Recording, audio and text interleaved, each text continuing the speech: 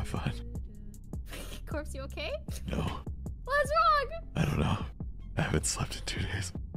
Do you feel? T- I feel so tired. Listen to my voice.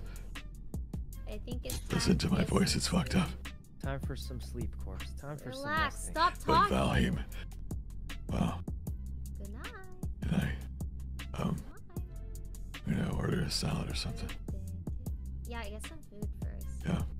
Maybe a thick burger will put you to sleep.